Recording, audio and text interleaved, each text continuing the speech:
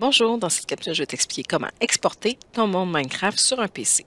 Donc, première étape, dans ton compte Minecraft Éducation, quand tu vas t'en jouer, tu as ici tes mondes, afficher mes mondes. Ces mondes-là sont sauvegardés sur ta machine, donc si tu changes de machine, tu ne les retrouveras pas sur une nouvelle machine. Donc, pour sauvegarder ton projet et pouvoir le réutiliser plus tard sur une autre machine, il faut exporter la carte. Donc, par exemple, je pourrais vouloir exporter cette carte-là ici pour la réutiliser sur un autre PC. Donc, je vais appuyer sur la carte et dans Gérer, je vais exporter mon monde. Donc, une fois que j'ai appuyé sur Exporter, on voit qu'un fichier MC World.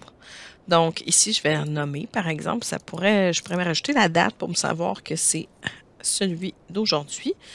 Et euh, vous pouvez le mettre soit sur votre bureau et après aller le glisser soit dans votre nuage, dans votre OneDrive, dans votre Google Drive, ou encore, dans notre cas, au CSSDC, sur le X de l'école.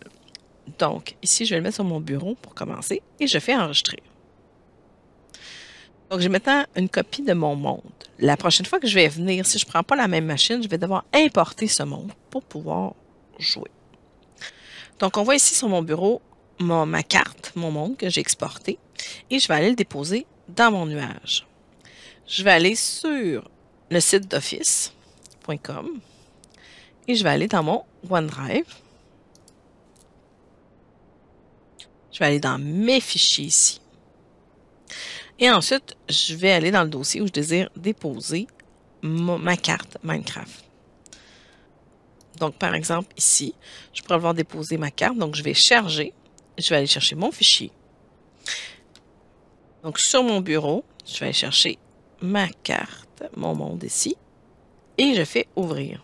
Donc, ma carte va se transférer dans mon nuage et j'aurai plus qu'à aller la chercher lors de ma prochaine période.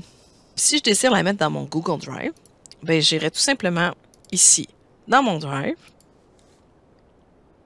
J'irai également dans mon disque Donc, une fois dans mon dossier, dans mon Google Drive, il me suffit de venir déposer le fichier ici. Donc, je pourrais simplement le prendre et le glisser comme ceci. Et voilà, je serai capable d'aller récupérer ma carte lors de la prochaine période. Voilà, c'était comment exporter son monde Minecraft et le sauvegarder dans un nuage.